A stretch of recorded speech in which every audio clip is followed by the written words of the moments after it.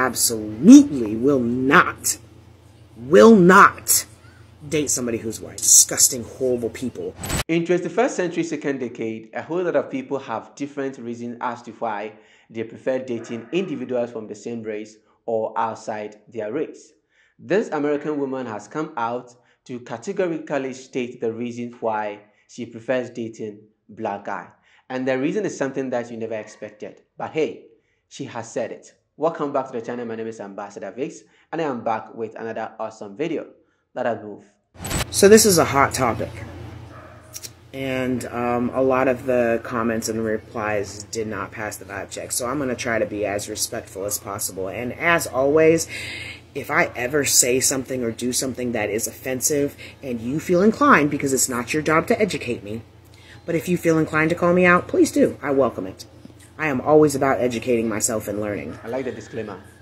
That being said, for me personally, it's not necessarily that I exclusively, like, only date black people, but I do tend to um, get approached and asked out more, and I do tend to, to vibe with and, and have chemistry with black people more than any other race or culture.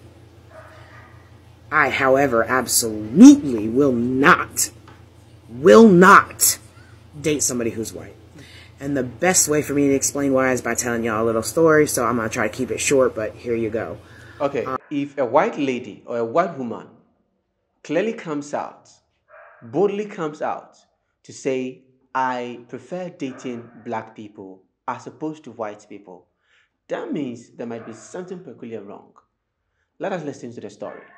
Um, dated a guy in high school. I knew his parents. I was friends with his sister, knew his grandmother, and and her sister. Everything was hunky dory. Thought he was the love of my life. We got engaged. As soon as high school was out, we moved in together. I then got invited to go spend Christmas with him and his extended family. That's where things went to hell. His other grandmother uh, was was dropping the N word with a hard R, the W word that ends with back, um, and and all kinds of other racist terms left and right. His uncle was sitting there telling jokes um, that was extremely racist and extremely discriminatory against other groups as well to the eight year old and and telling him he can't be friends with his black friend or his Hispanic friend, telling him to go to school and, and repeat these jokes. Um, being the loudmouth that I am, I said, oh, hell no. I called them out. I told them how disgusting and racist they were and that it was just, just disgusting. They were just disgusting, horrible people. And he had my back. My fiance had my back. He was sitting there right along with me telling them that this shit was bullshit. Um, up until the point where I said, our children will never meet you guys or know you guys because I will not have children around people or in an environment that thinks that this disgusting behavior is okay that's where he drew the line, and that's where he had a problem. Um, long story short, there was a physical altercation between me and his sister that cops got involved. We broke up. I broke it off because I, like I said, I could not have family. I could not have children with somebody who wants me and my children to be around that. It's not going to happen. So we broke up. I started realizing that uh, every person that was white that I ever dated had similar issues. Every single one of them. That was always an issue. Either them or their friends or their family would come out being racist and, and it would be an issue. Uh, I got tired. I got tired of putting my time, my energy, my effort, my emotion into somebody just for it to turn around and end because of that crap. So I stopped dating white people altogether. Um, I also noticed that when I dated people who were black, there was some things that, that I didn't get from the white community or, or as much of in other communities as well. Um, that, that sense of family, that strong family ties and always having your family's back and taking care of your family. Something I never experienced elsewhere. Um, that strong sense of community and uplifting your community for the betterment of your community. Did never experience that elsewhere. Um, those are the types of things, that love is what I was I'm attracted to in black people. It, it's it has it's not their skin, it's not their hair, it's not physical anything. It's that that love um, that I just never really experienced elsewhere. Um, but I do when I date people who are black. I'm also the kind of person I, I don't care as much about physical beauty or and, and um, I'm the type of person where I could be physically attracted to you, but if I see you have an ugly personality, when I look at you, I no longer see beauty. All I see is that ugliness. Like, uh, I start finding all the flaws. I, I, I don't see somebody attractive anymore. I, you, to me, are ugly as hell. Physically, once I realize that you have the ugliness on the inside. Like it's, I'm weird. I'm not attracted to physical beauty as much as I am personality. Um, but yeah, I just, those are things that, those are reasons why I tend to only date black people. Like I said, it's not necessarily exclusive. Um, I just tend to. But I hope that helps. I hope I wasn't offensive. And if I was, feel free to call me out if you feel inclined. I always welcome the education, even if it's not, even though it's not your job. All right, so we just watched the video as to the reasons why she prefers dating an African or a black person as opposed to, you know, a white person. And the two of the reasons of which me I captured, one as each and every white person of which she had dated were racist. That's the first one. And the second one is the white people kind of lack sense of community. But when she comes to an African, there's that sort of community there. Don't choose skin color over personality. You respect people, you connect with people, you kind of befriend someone just because of the person's personality.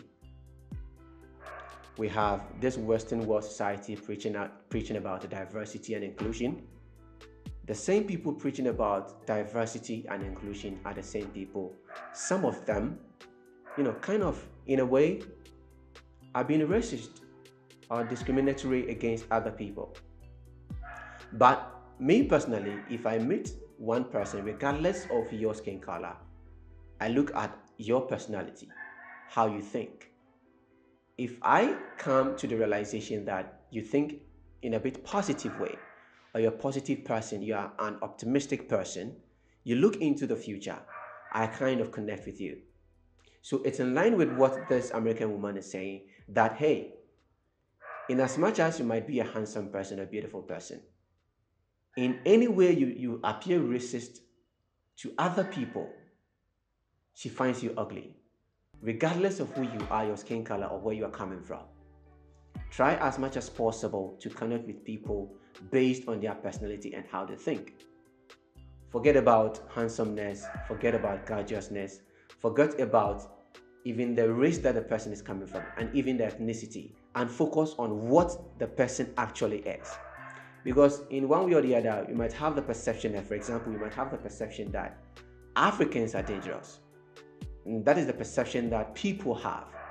And because of that, a shallow minded person, excuse me to say, will say that I specifically do not want to date Africans just because I've heard that Africans are dangerous.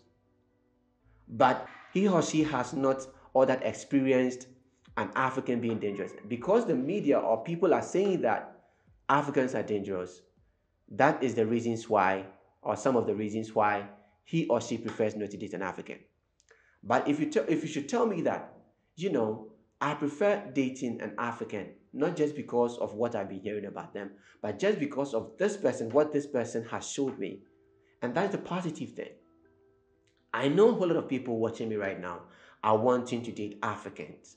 I know some of you are also wanting to date white people. You know, there are pros and cons to each and everything. You just have to find someone who genuinely cares about you, someone who genuinely bonds with you someone who also thinks positively, optimistic, looks into the future so that you bond with a person. So, with her reasons, I subscribe to that. The reasons why she specifically dates African or black men is that there's this sort of you know sense of community. Black people are not all that racist. in as much as the white color and the black color were there, there will be racism. No matter what you do, there will be racism. So, you as a black person, you as a white person, regardless of the relationship that you guys are searching for, whether it's platonic relationship or intimate relationship, try as much as possible to bond with someone who is positive, someone who you attract and you think that no, this person is a good person. Not just because the person's, you know, outlook, the person's gorgeousness or handsomeness, you might be doing a whole lot of mistake. So according to her, she prefers dating African, not just because Africans are handsome and all that, just because Africans are not racist, just because there's a sense of community when it comes to Africans. Let me know what you think about this video and especially to the three points of which you raised. I'll be reading your comments. Once again, my name is Ambassador Vicks. See you next time in another episode. Sokoto, Mayande.